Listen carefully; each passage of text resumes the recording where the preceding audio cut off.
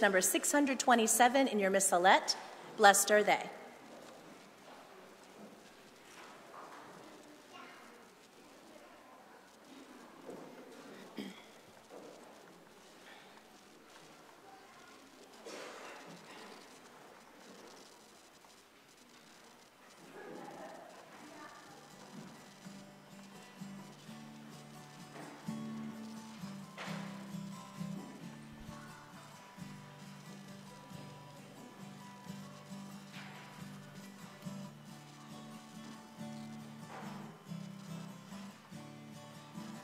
Please stand and let's worship together. Again, number 627 Blessed are they.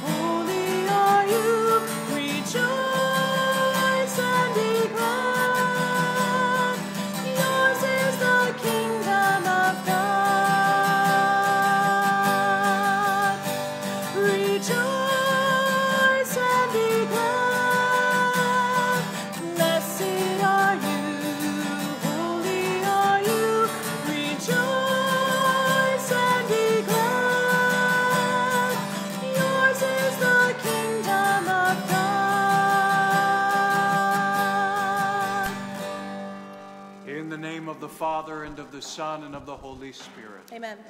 The grace of our Lord Jesus Christ, the love of God, and the communion of the Holy Spirit be with you always. And with your spirit. Today in our gospel, the Lord Jesus calls us to love him above all else and to rely on him and build our lives upon his grace. Desiring to heed this call, let us acknowledge our sins and so prepare ourselves to celebrate the sacred mysteries. I confess to Almighty God and to you, my brothers and sisters, that I have greatly sinned in my thoughts and in my words, in what I have done and in what I have failed to do, through my fault, through my fault, through my most grievous fault. Therefore I ask Blessed Mary, ever Virgin, all the angels and saints, and you, my brothers and sisters, to pray for me to the Lord our God. May Almighty God have mercy on us, forgive us our sins, and bring us to everlasting life. Amen. Lord, have mercy. Lord, have mercy. Christ, have mercy. Christ, have mercy. Lord, have mercy. Lord, have mercy. Please join in our Gloria, number 913. Glory to God, glory to God, glory to God in the highest,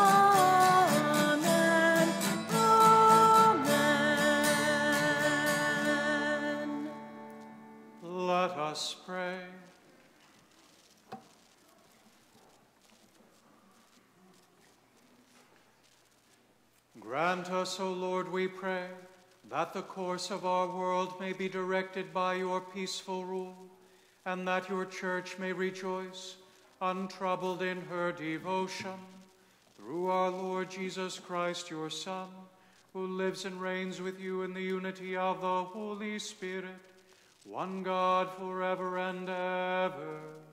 Amen.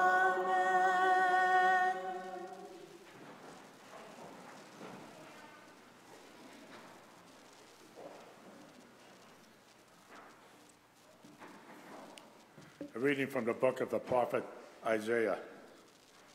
Zion, said the Lord, has forsaken me. My Lord has forgotten me. Can a mother forget her infant? Be without tenderness for the child of her womb? Even she should forget. I will never forget. The word of the Lord.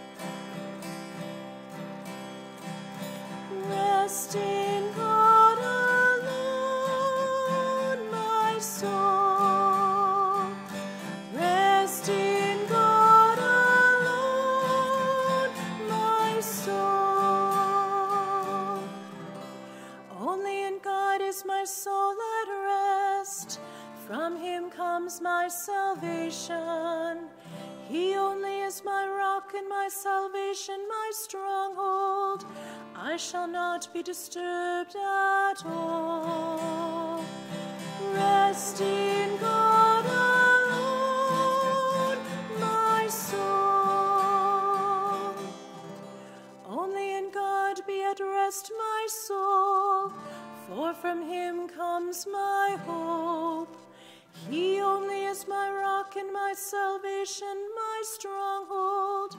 I shall not be disturbed. Rest in God alone, my soul. With God is my safety and my glory. He is the rock of my strength. My refuge is in God. Trust in Him at all times, O my people. Pour out your hearts before Him. Rest in God alone, my soul.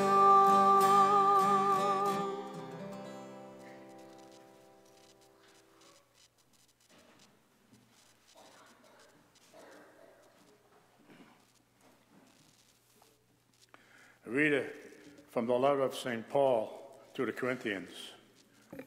Brothers and sisters, thus should one regard us as servants of Christ and stewards of the mysteries of God.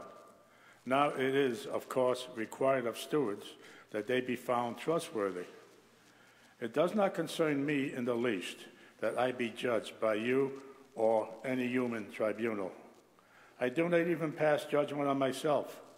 I am not conscious of anything against me, but I do not thereby stand acquitted.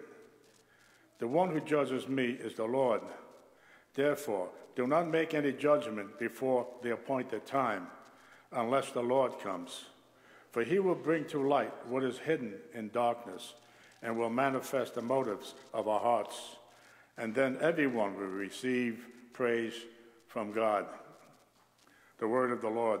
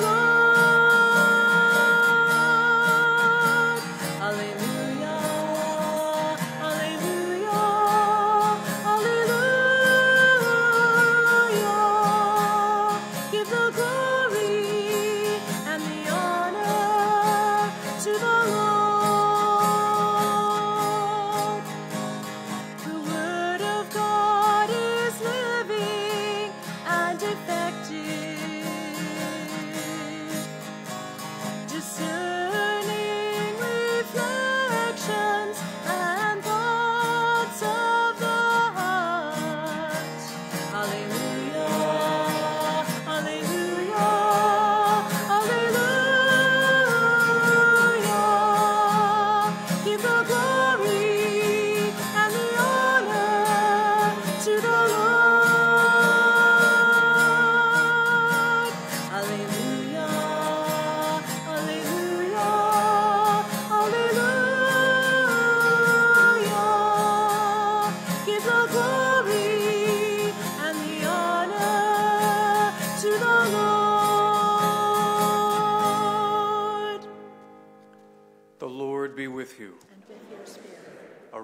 From the Holy Gospel according to Matthew.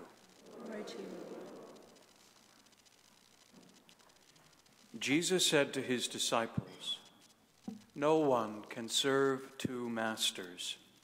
He will either hate one and love the other, or be devoted to one and despise the other. You cannot serve both God and mammon. Therefore, I tell you, do not worry about your life, what you will eat or drink, or about your body, what you will wear. Is not life more than food and the body more than clothing? Look at the birds in the sky. They do not sow or reap, they gather nothing into barns, yet your heavenly Father feeds them. Are not you more important than they? Can any of you, by worrying, add a single moment to your lifespan? Why are you anxious about clothes? Learn from the way the wild flowers grow. They do not work or spin. But I tell you that not even Solomon in all his splendor was clothed like one of them. If God so clothes the grass of the field, which grows today and is thrown into the oven tomorrow, will he not much more provide for you, O you of little faith? So do not worry and say, What are we to eat? Or what are we to drink? Or what are we to wear? All these things the pagans seek. Your heavenly Father knows that you need them all. But seek first the kingdom of God and his righteousness, and all these things will be given you besides. Do not worry about tomorrow. Tomorrow will take care of itself. Sufficient for a day is its own evil. The Gospel of the Lord.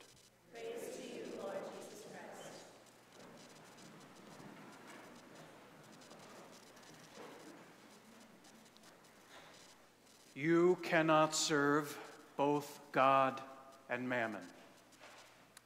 Mammon was an ancient Near Eastern word for money, wealth. And it was also the name of a pagan god that was worshiped around the people of Israel, personified wealth. And that word, mammon, even more basic than money or wealth, meant security, it meant firmness, solidity, trustworthiness. And that, of course, is the great appeal of money.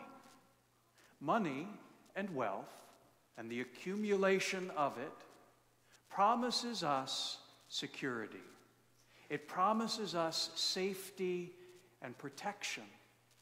It gives the illusion of firmness that word mammon, that ancient word mammon for wealth, for that pagan god, is related to a word that we say multiple times in every Mass and that we say at the end of almost all of our private prayers.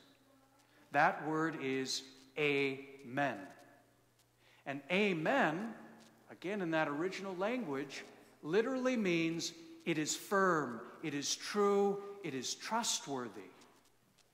And we say amen to God's word, to the Eucharist, to say from our hearts that God is trustworthy, God is our security, God is our rock. Now, the great question the Lord Jesus poses to us in the gospel today is to whom do we say amen? What do we believe is firm, lasting, trustworthy? And as he tells us, all of us, all of us knowing that we are weak and fragile creatures, must choose on what to build our lives. We know that we need something bigger and stronger and more lasting than ourselves to prop us up. And the question is do we turn to God or do we turn to mammon, money, power? And we have to choose one. The cruelty and the sadness of serving mammon, money, is anxiety. The surest sign that our hearts are turned ever so subtly from God to mammon is anxiety and worry. Because mammon wealth promises security, but binds us through worry. And we all know it. We think if only I had a little bit more money, if only I had a little bit more in my retirement account, then I'd be secure. Then I'd be on solid ground. And no matter how much we accumulate, no matter how much we gather into our accounts, gather into our proverbial barns, we still feel anxious and we worry and we enter into that rat race where we try to get a little more and a little more and a little more. And the chains that bind us to mammon get heavier, and the anxiety and the worry get heavier. The worship of God, saying amen to God, saying that you are firm, God, you are my foundation, has an altogether different interior landscape. We know that our hearts are fixed on God when we experience peace when we experience that trust and that security that children know in their mother's arms. And that's precisely the image that we heard in the first reading. The people of Israel are saying to themselves, because they've gotten themselves into another jam, God has forgotten us. We are lost. No one's going to take care of us. And the prophet says, speaking with the voice of God, God will not forget you. Just as a mother could not forget her child, so God will not forget about you. You can trust in Him, you can build your life on Him. Today, in this gospel, we're challenged to ask ourselves on what have we built our lives? To whom do we turn for security, reliability, safety? Is it money or is it God? There was a recent headline in a newspaper. The headline ran, Billionaires experience anxiety too, comma, and no one cares. that headline speaks to our subtle belief that money makes secure. We don't believe the billionaires have anxiety because they have so much money. But the billionaires who've accumulated all that money know that mammon is not secure. Mammon does not feed our hearts. Mammon doesn't solve our human problems. Only God can. I invite you at this Mass and your personal prayers today, next week, and from now on, when you say Amen, when you say Amen before you receive the Holy Eucharist, Jesus' body and blood, when you say Amen after grace at meals, that you say it and mean it as it was originally intended. That I believe you, God, are the foundation of my life. You are my security, and I want to build my life on you and you alone. May our amen today, tomorrow, and for the rest of our lives express that. And may it be our weapon against the seduction of mammon, the seduction of false security, false firmness.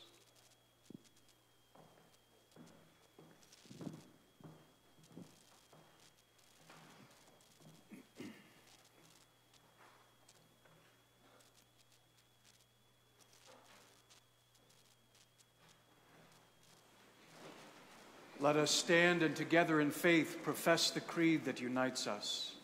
I believe in one God, the Father Almighty, maker of heaven and earth, of all things visible and invisible. I believe in one Lord Jesus Christ, the only begotten Son of God, born of the Father before all ages, God from God, light from light, true God from true God, begotten, not made, consubstantial with the Father through him all things were made. For us men and for our salvation, he came down from heaven, and by the Holy Spirit was incarnate of the Virgin Mary and became man. For our sake he was crucified under Pontius Pilate. He suffered death and was buried, and rose again on the third day in accordance with the Scriptures. He ascended into heaven and is seated at the right hand of the Father. He will come again in glory to judge the living and the dead and his kingdom will have no end. I believe in the Holy Spirit, the Lord, the giver of life, who proceeds from the Father and the Son, who with the Father and the Son is adored and glorified, who has spoken through the prophets. I believe in one holy Catholic and Apostolic Church. I confess one baptism for the forgiveness of sins, and I look forward to the resurrection of the dead and the life of the world to come. Amen turning to our loving God who desires that we build our lives on the rock of his Christ, we lift up our prayers and petitions in confidence and in faith. That our parish, our diocese, our universal church may grow ever more trusting in the goodness and mercy of our loving God. Let us pray to the Lord. Lord, hear our prayer that our leaders might trust in God rather than in weapons of war or the riches they can acquire. Let us pray to the Lord. Lord, hear our prayer. For mothers everywhere, as they care for their children with tender attentiveness, let us pray to the Lord. Lord, hear our prayer. For children, for their safety, security, let us pray to the Lord. Lord, hear our prayer. For the safety of Father Michael, and the men and women who serve. Let us pray to the Lord. Lord, hear our prayer. And for Dorothy Rose, who we remember in a particular way during this Mass, we pray to the Lord. Lord, hear our prayer. Good and gracious God, look with kindness and compassion on your holy people. Free us from the anxiety that comes from not placing you first in our lives, and fill us with hope in your promises and faith in your word. Hear and answer the prayers we offer, for we offer them in and through our Lord Jesus Christ, who lives and reigns forever and ever. Amen. Amen. Our song of preparation in your missalette, number 434 Seek ye first.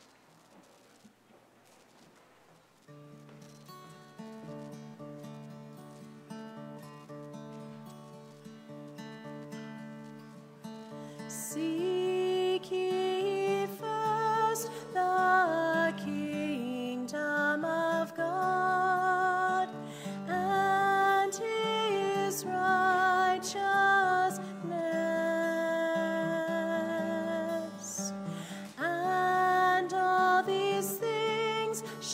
I'll be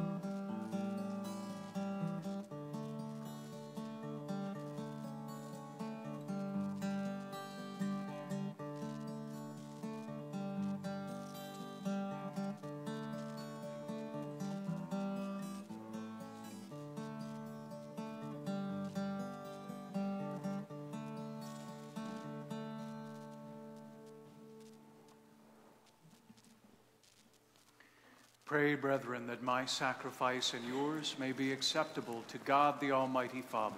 May the Lord accept the sacrifice at your hands for the praise and glory of his name, for our good and the good of all his holy church.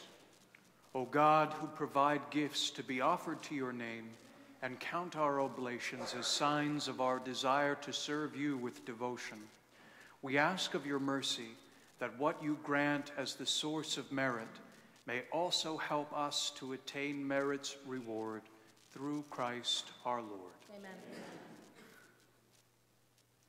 The Lord be with you. And with your spirit, Lift up your hearts. we lift them up to the Lord.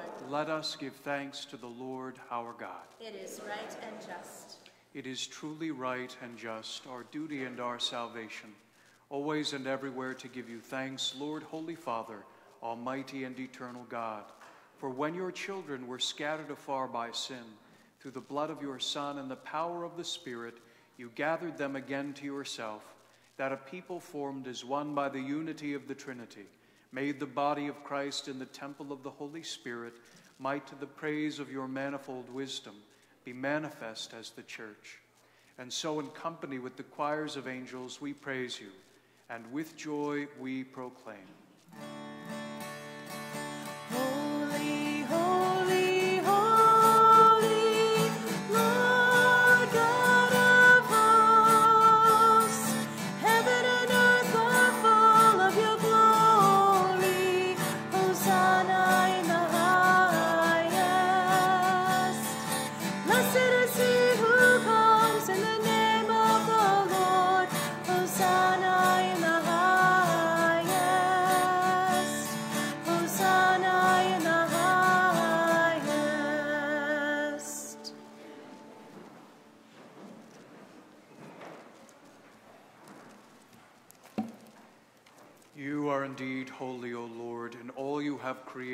Rightly gives you praise. For through your Son, our Lord Jesus Christ, by the power and working of the Holy Spirit, you give life to all things and make them holy. And you never cease to gather a people to yourself, so that from the rising of the sun to its setting, a pure sacrifice may be offered to your name. Therefore, O Lord, we humbly implore you, by the same Spirit, graciously make holy these gifts we have brought to you for consecration, that they may become the body and blood of your Son, our Lord Jesus Christ, at whose command we celebrate these sacred mysteries. On the night before he was on the night he was betrayed, he himself took bread, and giving you thanks, he said the blessing, broke the bread, and gave it to his disciples, saying, Take this, all of you, and eat of it, for this is my body, which will be given up for you.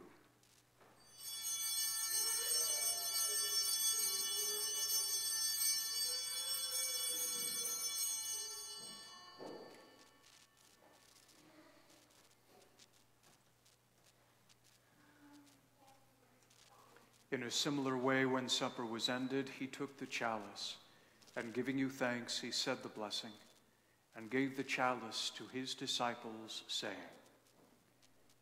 Take this, all of you, and drink from it, for this is the chalice of my blood, the blood of the new and eternal covenant, which will be poured out for you and for many, for the forgiveness of sins.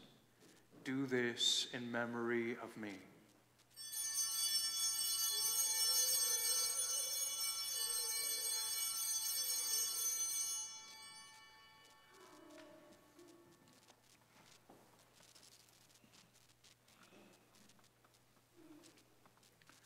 The mystery of faith.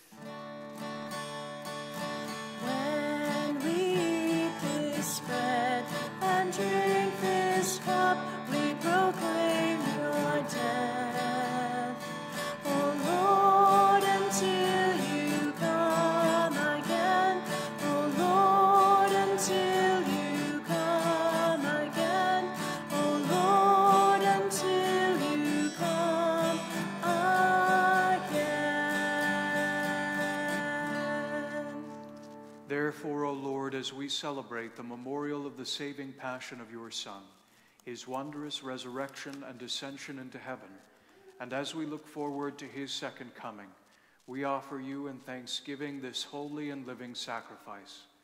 Look, we pray, upon the oblation of your church, and recognizing the sacrificial victim by whose death you will to reconcile us to yourself.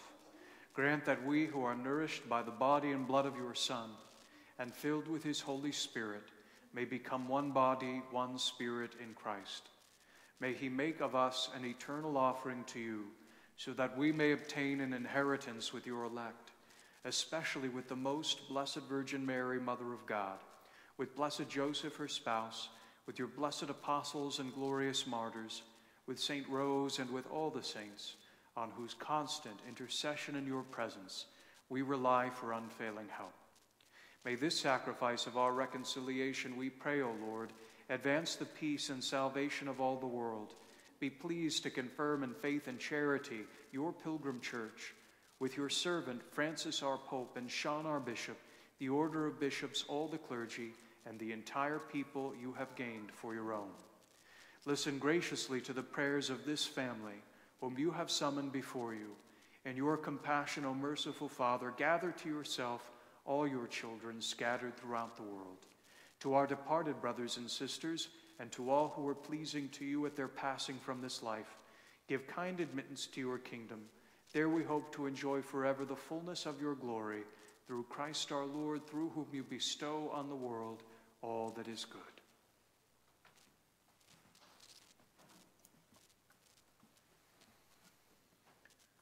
Through him and with him and in him, O God Almighty Father, in the unity of the Holy Spirit. All glory and honor is yours forever and ever. Oh,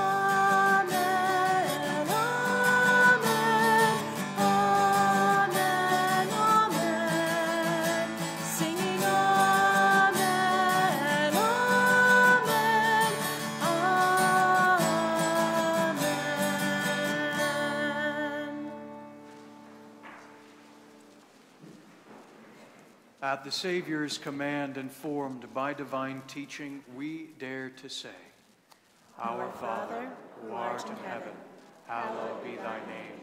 Thy kingdom come, thy will be done, on earth as it is in heaven. Give us this day our daily bread, and forgive us our trespasses, as we forgive those who trespass against us. And lead us not into temptation, but deliver us from evil. Deliver us, Lord, we pray, from every evil. Graciously grant peace in our days, that by the help of your mercy we may be always free from sin and safe from all distress, as we await the blessed hope and the coming of our Savior, Jesus Christ. For the kingdom, the power, and the glory are yours, now and forever. Lord Jesus Christ, who said to your apostles, Peace I leave you, my peace I give you, look not on our sins, but on the faith of your church and graciously grant her peace and unity in accordance with your will, who live and reign forever and ever. Amen. The peace of the Lord be with you always. And with your spirit. Let us offer each other the sign of peace.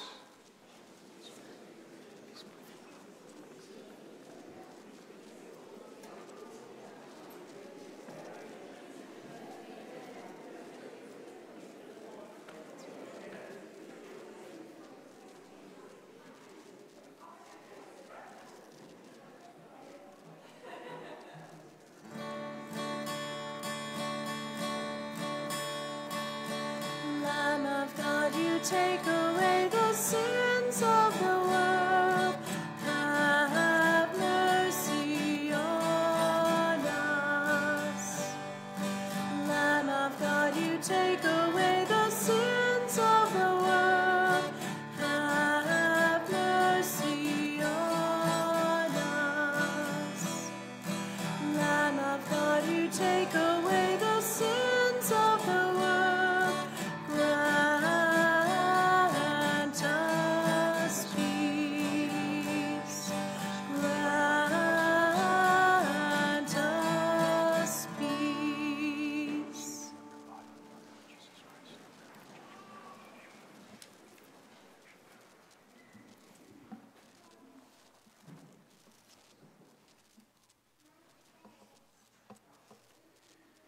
Behold the Lamb of God.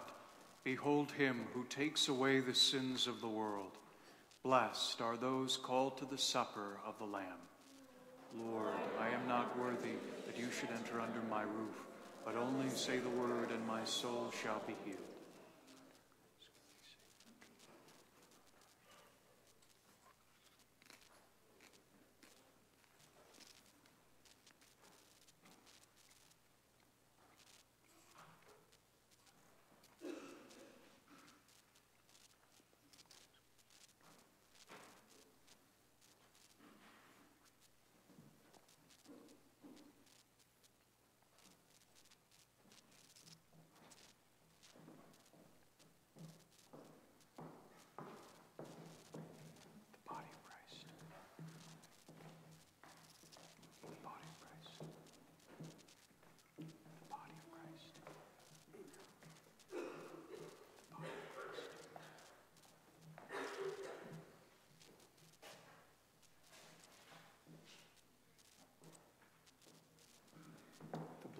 Christ.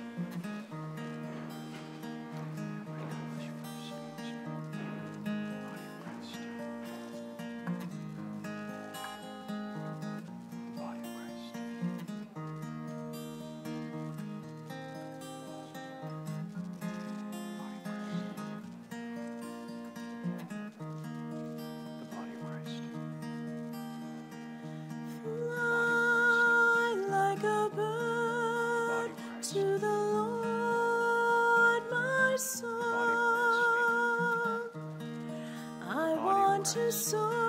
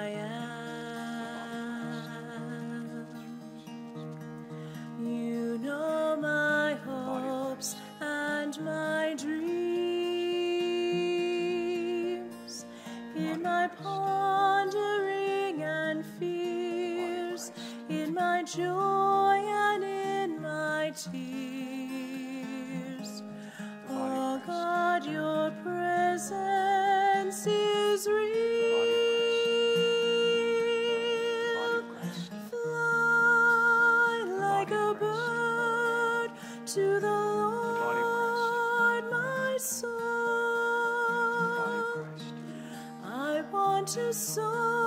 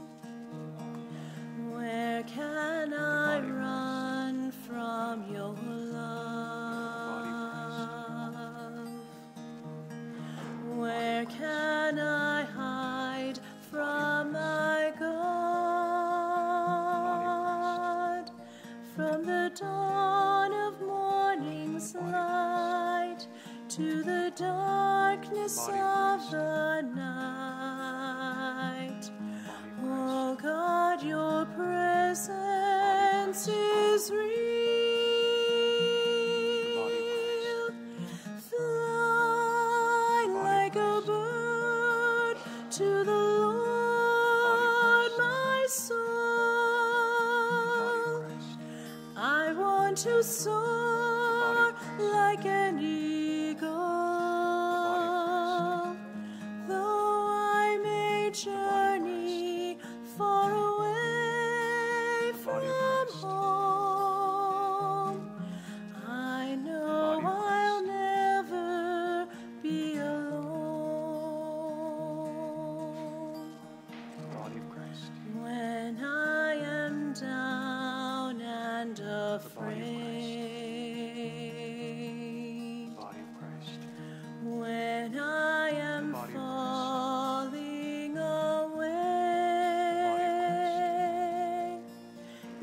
extend a gentle hand, and I know you understand.